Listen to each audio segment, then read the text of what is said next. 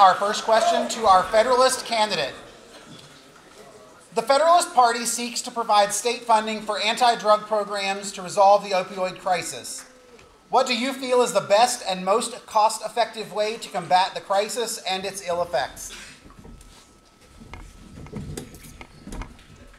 So as we see this uh, crisis growing across the strait extremely at high rates, we obviously we need to put a stop to it. And what first comes to some people's mind is obviously for the people that are already addicted and they want to go through rehab, put money into the rehab system. But that won't work because once they get out that rehab system, they're just going to go straight back into the drug, the communities that have all the opioid problems. So my, my goal is to be able to put more state funding towards the community programs that will go directly into these high rates, high rated areas with opiates, which is a lot of the states. So we're going to need a lot of funding, but we're going to get the job done because we're going to go straight to the community at the source of the problem instead of getting it where addicts are already going through the problem. So.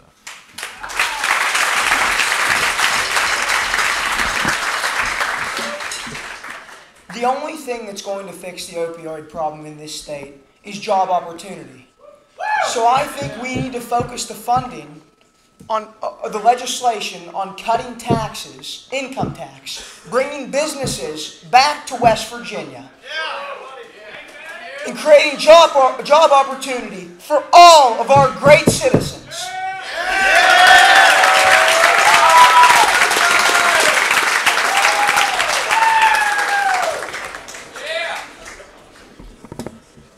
Um, I believe it goes without saying that it, it is a problem, unemployment these days, but at the same time, West Virginia has many opportunities out there already. And I think that people are just, we have a lot of people on welfare, and that's not, it shouldn't be that way. A lot of people that aren't employed should get employed, and I think the business is already out there, but it's just that they don't want to work. So I think we need to go into communities, to have these programs to be able to talk about stuff like that.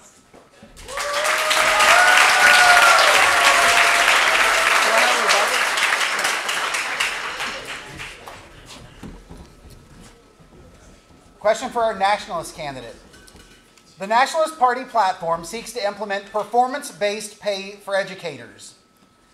In an educational environment that is filled with the social problems that have been caused by poverty, addiction, and other major disruptive facets that are facing teachers in the classroom every day, how can you fairly hold a teacher to a standard of a student performance that can impact their livelihood when teachers have zero control over the emotional and familial stressors that the children arrive in their classroom with day in and day out.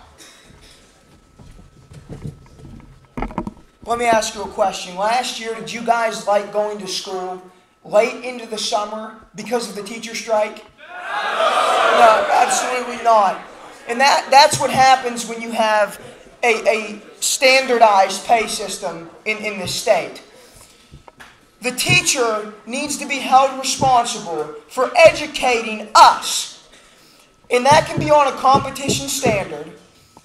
Uh, tests at the beginning of the class and tests at the end of the class, standardized curriculums, because we want our teachers to be held to the same responsibility that they hold us to.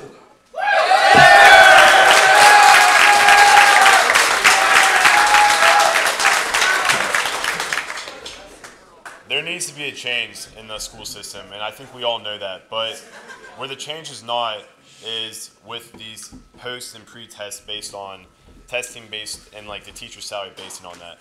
That would not work because if the students have different responsibilities, we all come from different backgrounds. I don't know. Some of you guys might play sports. You guys might be out until 6:30 every night playing sports. Once you get home from a sport team, you might have to pay. You might have to get a job so you help your parents pay for something and we're all in different situations, and you can't put that on the teacher. That if these people, they just can't spend time for school, or some people just won't try, you can't put that on the teacher. So I say instead, making a base salary increase for all teachers across the state, because that's what really needs to be done.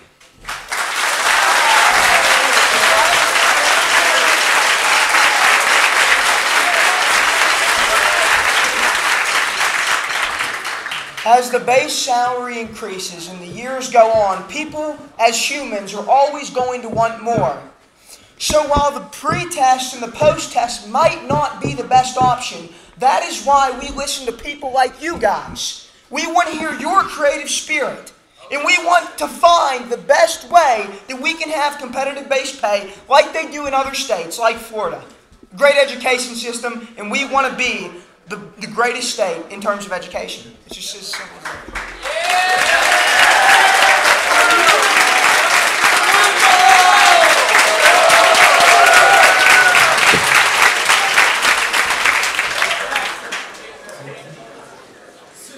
The Federalist Party hinges its secondary road repair platform plank to a funding source that is not in accord with federal law. If your party's effort to legalize marijuana fails, your party is left with few priorities. What do you plan to do, if elected governor, to ensure you engage the citizens in the legislative process necessary to deliver on your campaign promises?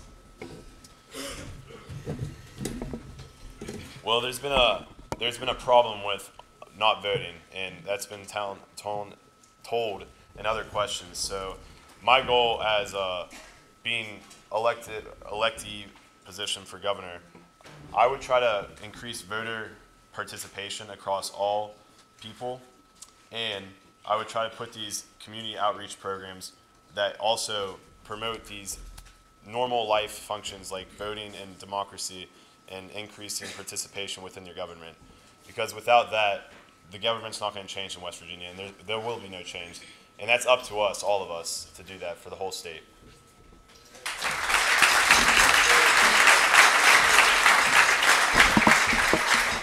That's a, that's a very good idea. But in terms of marijuana, medical marijuana, I'm completely for. It helps people everywhere. Recreational marijuana, I'm not saying I'm against because the tax, the tax purposes and the revenue increase is actually very good. However, the long-term studies are not conclusive yet.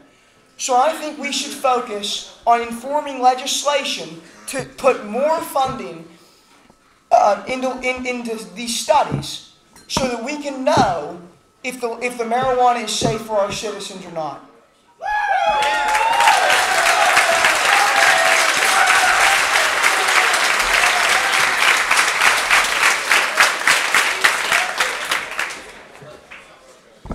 I believe these studies aren't even happening in our state, so why would we put money into these studies that aren't even going back into our economy? We're trying to fix our state, and that's what comes first.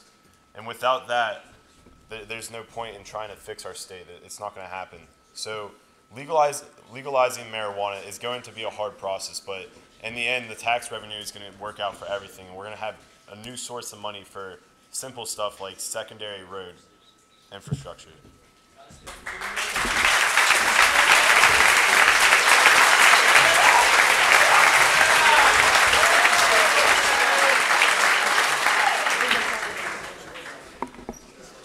Question for the nationalist candidate.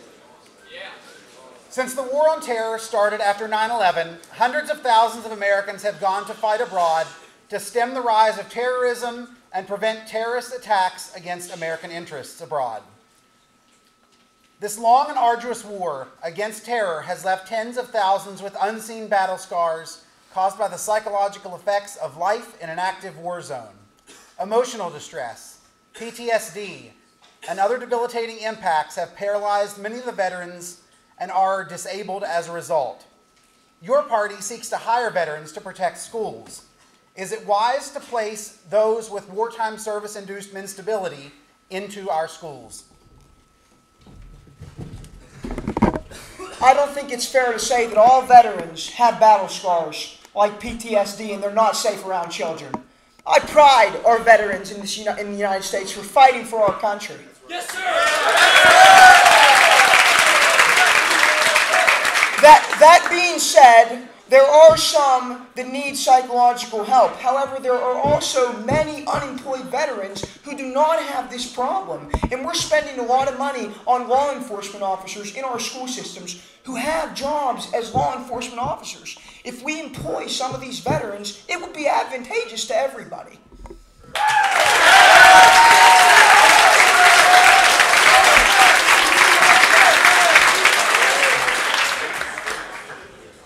This would work, but I think the only way this would work is that we need all veterans that want to do this go through a, mental a screening of some sort, and also we would need them to go through the police resource officer training. It's not fair just to put someone in a position just because of the the action they did were very heroic for our country and for our nation, and that is greatly appreciated by all of us. But it's not fair to put them in a position like that without proper training, and it's not safe for the school.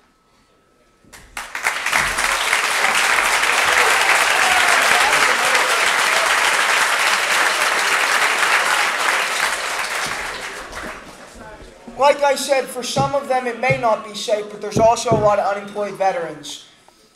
And we need to get them jobs. That's our first priority. And there's a lot of veterans in West Virginia, and we take care of our West Virginians.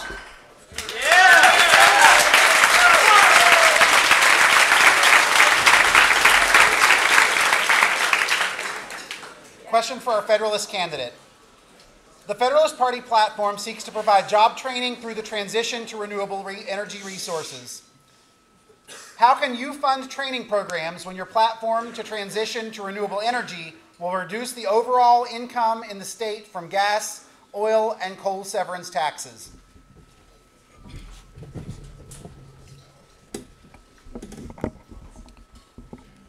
I think we'll be able to split the money from the legalization of marijuana to make this possible.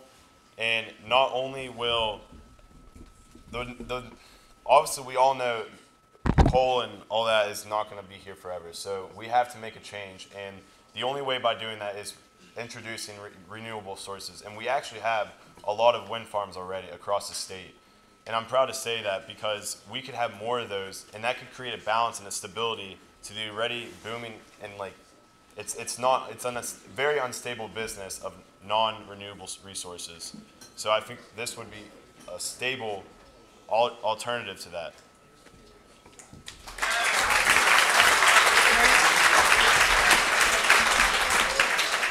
The problem I have with acting like marijuana is the only source of income for West Virginia really upsets me because there's a lot of investment vehicles that would work in these financial literacy. We learn about that. Say you float a bond. We get a lot of notor- notoriety from a, from a big state. New York City floats a bond for us, a big Wall Street bank. A lot of notoriety, maybe bring some people to West Virginia. And, and hopefully, we can, we can eventually go to these renewable resources, but right now they're very, very expensive. So we need to find a way that we can implement renewable resources and, and, and create jobs like we do in coal and create a revenue stream like we have in coal. We have great scientists in West Virginia. And I think those scientists, if allocated more funding through, the, through this bond, can uh, find renewable resources if they, if they really try their hardest, along with um, help from all, all across the United States.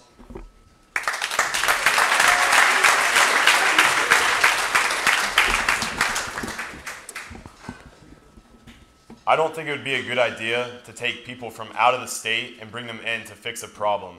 Because that's why, that's the whole reason we're trying to create a whole new economy. And we want to do that, not a whole new, but add on to an extremely century moving economy. And we want that for everybody. And that's not going to be working with by getting people from out of state. So we get this people from in state.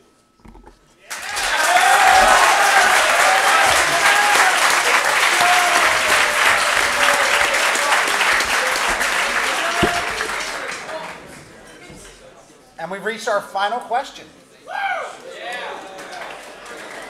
For our nationalist candidate, if elected governor, how will you prioritize the needs of the state for further infrastructure development? Will you prioritize existing infrastructure or you will seek or will you seek to develop new infrastructure projects to move the economy forward?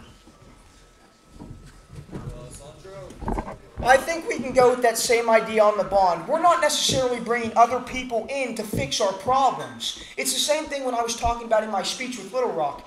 They already allocate bonds. That company that I was talking about already has bonds for West Virginia. The Charles Pointe in Harrison County, that company runs the debt backed security for that place. So, I, I think that we, we, if we issue those bonds and we create new infrastructure to bring the economy forward, we can have a lot of opportunities for our, our fellow West Virginians.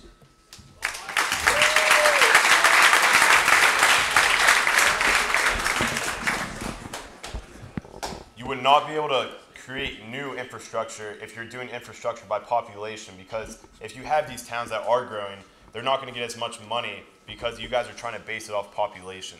So I would say base um, infrastructure off town development and resources in that town because we want to grow West Virginia. We don't want to just keep it the way it is now. That's the whole reason we're trying to change it. We're trying to make it great again. And the only way by doing that is increasing infrastructure for all towns.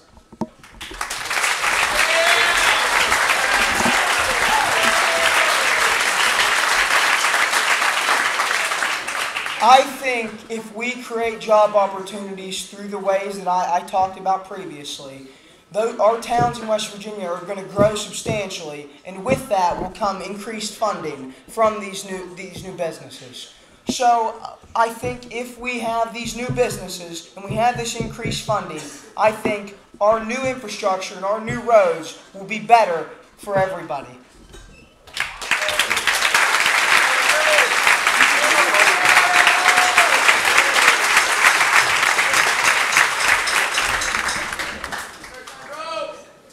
They do, guys?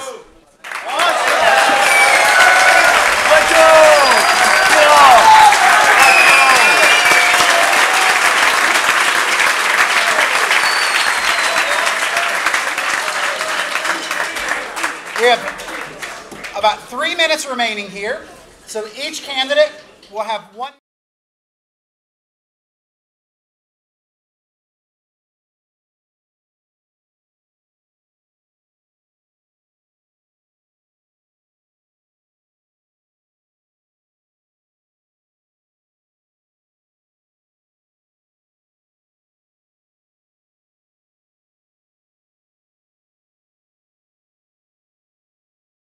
Everybody for giving me an opportunity to speak. And I just really want to tell you if you elect me governor, I will listen to you. And through your creativity, we will enact change in West Virginia. And lastly, Carson, great job, buddy. Whoever wins, I'll be happy with.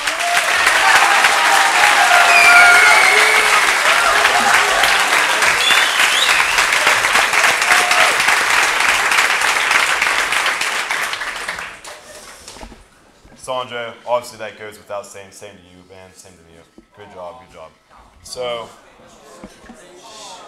my job as governor is to reunite us because we have been separated for the past couple days and we have some differing beliefs. So I, I think that's great because without differing beliefs, we wouldn't get it, like we would only get the problems that we think are done. But we want everybody's ideas on all these problems. So I will be listening to all of you, and I hope you vote Big Man Carson Winky.